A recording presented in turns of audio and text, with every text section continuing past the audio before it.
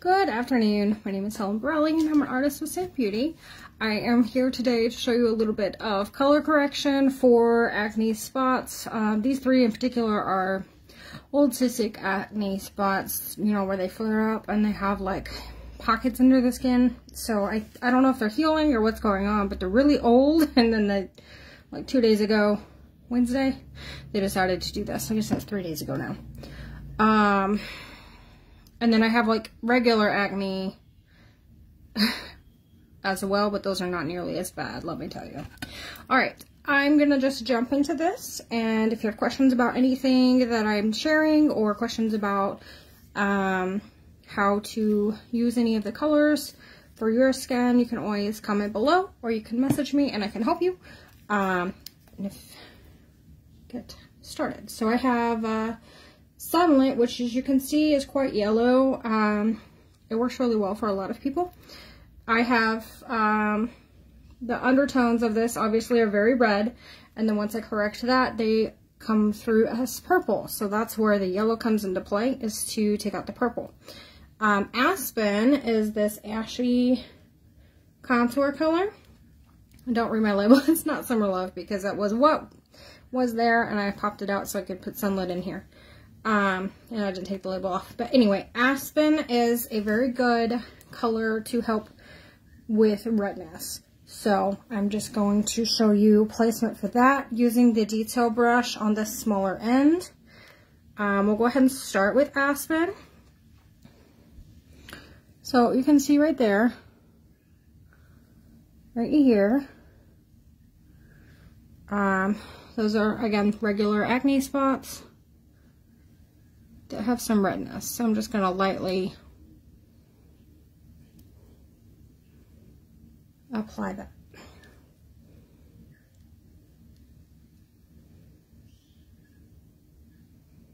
Now, with cystic acne, if you're not familiar, it kind of leaves little holes like in your skin. So very textured. You can see that it's almost disappeared. It's got a little bit of purple like that. I turned on my little ring light my mom gave me because I used it for the first time yesterday and realized it really helped some of the textures and colors to show up. Like that one was almost disappeared. This one is a little scab, so it might be harder to cover. Thank goodness it's on the jawline, so I actually can just run the contour up a little. So again, you can see that has really purple undertones coming through now because the redness is gone, but it's still very visible. I'm going to use one more spot. I'm to take, this is the most annoying one to have it right beside your mouth.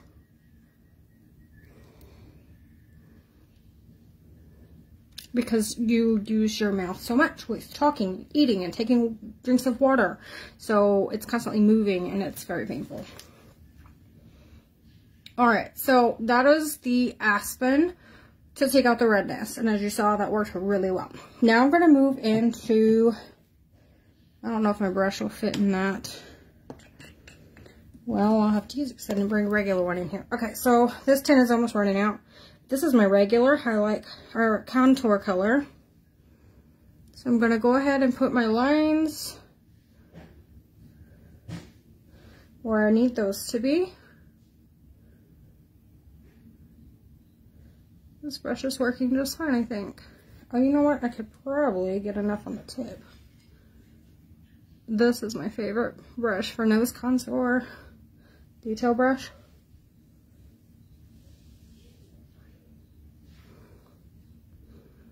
Just kind of take it up to your brows and then down on the end. A little bit of shadow under the chin. I'm also going to do this top of the lip. It kind of makes it look bigger than it is, which I have small lips, so I really am loving that trick right now. Um, let's see. I'm a little sweaty. It's hot. Is anybody else like, it's really hot where you are? Okay, now my face is not sweating. I'm gonna take my brush and get that on the forehead. I'm not gonna, I'm gonna try not to talk too much about contour because you guys should know most of that. Uh, I'm just gonna get it on so we can move on to the last part of the color correcting. Got like a tickle on my nose. Trying a different primer today, so we'll see how that goes and I'll let you all know. I've been trying several primers. I have one more I want to grab and then I will start giving you results. I'll probably be like a primer week. I have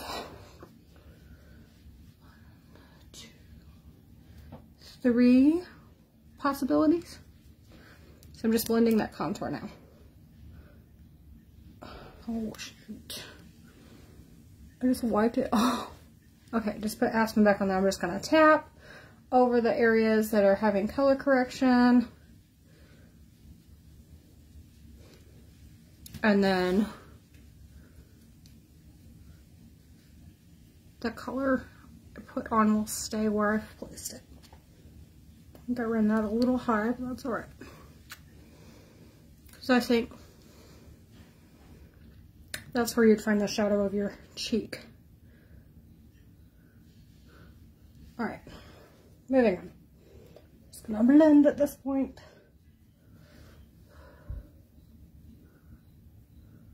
I already have my eyeshadow done, but I had nothing else on my face. Now there is that one spot on my nose, so stippling motion. That just means you're pressing into your skin instead of swiping. Um, super important whenever you're using color correction techniques where you have other makeup on. Oh, there we go. Okay, now I'm going to go back into the 3D brush and apply main highlight. The reason I want to do this first, brush is dirty, I'll use this end. The reason I want to do this first is because I don't want to put too much of the yellow if I don't need it. I am using a stippling motion with the 3D brush because I want more full coverage.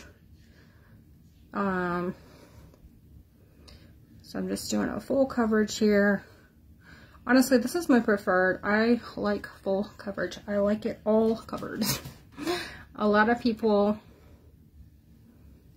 will do less and that's great that it works for them, but I need a lot more. I want a lot more. You can see that redness just fading. Oh, have hair. Hello. Go back where you belong. Okay, and then full coverage. Again, my tin is running low because I've been doing a lot of makeup this summer. So I'm going to just tap over that spot. You can see it's still brighten this up. It's still showing a little.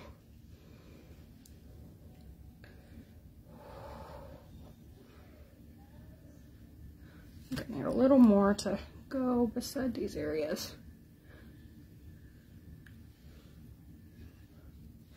And this is a stippling motion. I know a lot of people, like, we try really hard not to layer our products. So it's one layer everywhere in your skin. However, I have tried all the things and I can't seem to get really good coverage unless I layer some of the products when I have acne that needs covered. I've already done my eyes, so I'm just gonna, I did a sweeping motion to spread the product and now I'll just tap again for the full coverage effect. I like how that contour looks on that side. Not bad. All right, sweeping.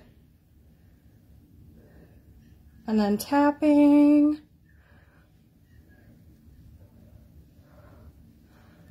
So I did this eyeshadow look. I actually have the tutorial up on Instagram because um, the girl that wanted this particular look, um, she's on Instagram. So I'll need a small bit to go down my nose. So I just did that right before I hopped on here.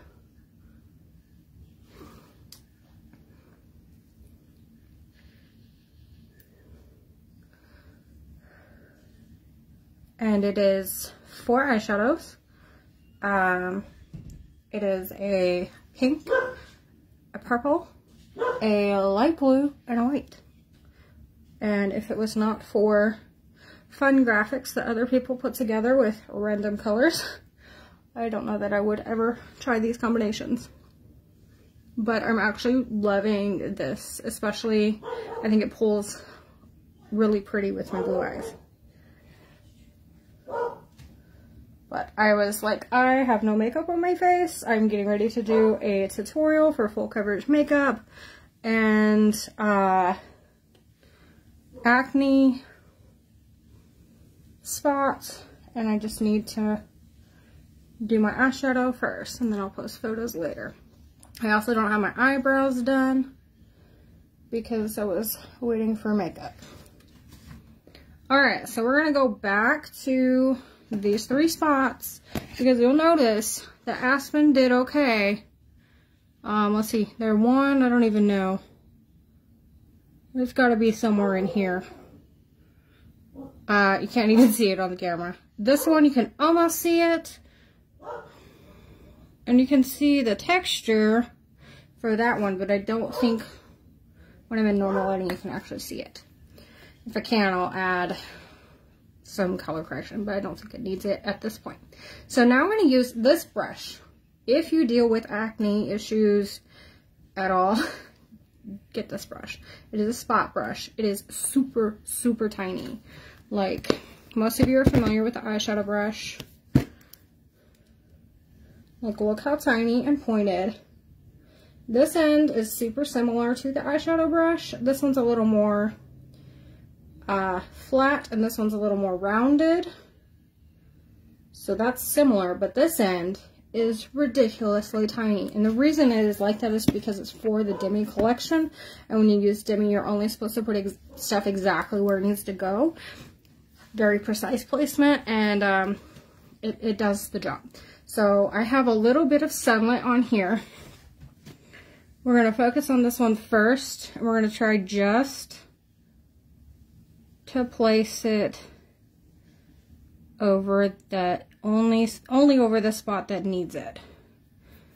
And then you'll take that fluffy end and kind of tap at it.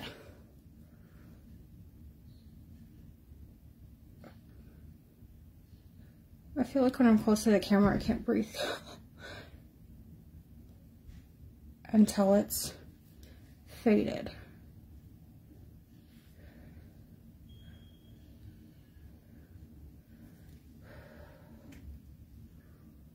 Feel like that did better.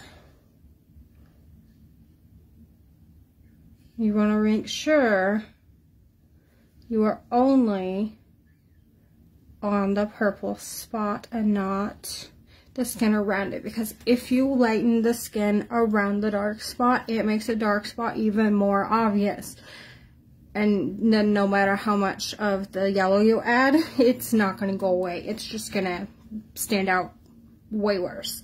So that's why this precise placement brush is so important. So I'm just getting like a little bit of sunlit.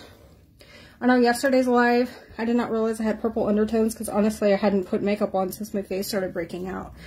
Um, and I was not prepared to show you all full acne coverage. So I've got my sunlit on here. I think you can see there's just a little bit on the end. I have to drop my jaw a little so I can actually see it because it's right on the jawline.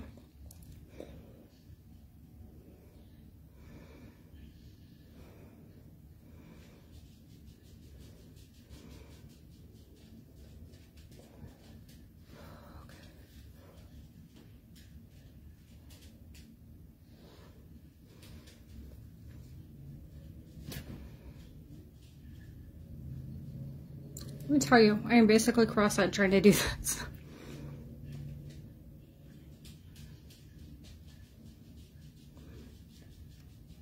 Okay. Alright. Can't see. My eyes are going crazy.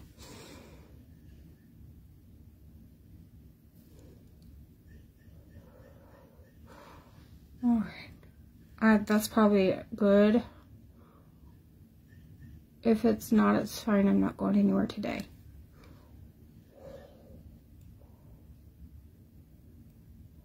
And again, I am just tapping like this when I'm trying to blend this color so that it doesn't remove the product. No sweeping motions, especially with precise placement. Last spot is this little unfortunate um, like dent in my skin. I don't know what else to call it. See, I went outside of the line there and that's gonna make it show up. All right.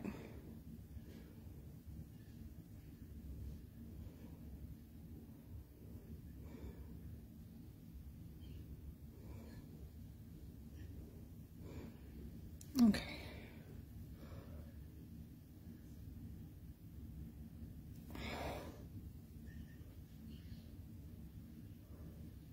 So I cannot do anything about the texture, but the colors are like super neutralized.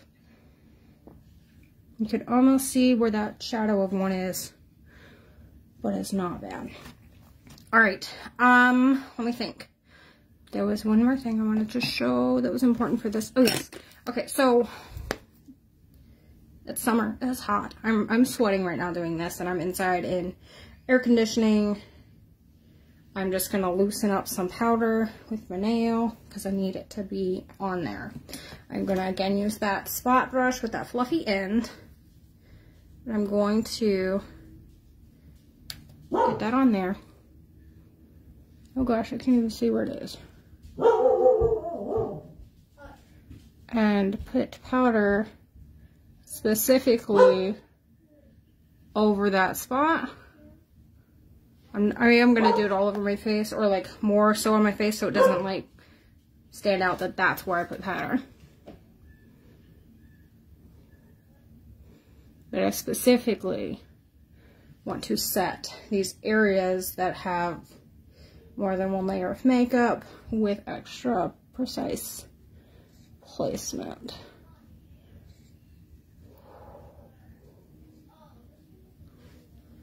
This is key to helping your coverage stay. Now if I'm just gonna, I can't speak. I'm gonna do the rest of my face. I'm actually not gonna do it all on here. I would just again loosen some powder and then take my brush and I'm gonna run it underneath that contour to kind of help make that all blend in, especially because it's all on that one side there. And I want it to be even.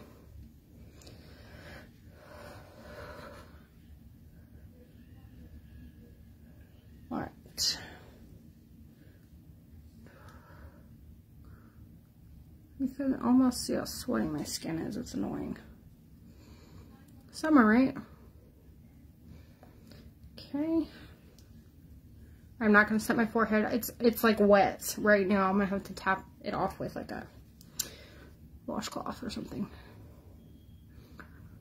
Alright, so you're going to set those spots. You're going to set around the general area simply because you don't want it to stand out that you spot set areas and the rest of your face has a dewy look and those spots are more matte finish.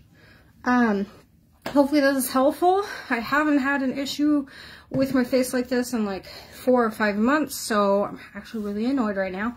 But it's a great opportunity to make a new recording with a little bit more updated information for um, acne coverage. So that's one I'm going to be saving for my YouTube channel because I'm excited to have this. as horrible as it is to have a breakout on my face, I have new content. So I'm okay with that. Um, all right, I'm done for now. So if you have any questions, of course, comment below and I will get back to you later. Bye.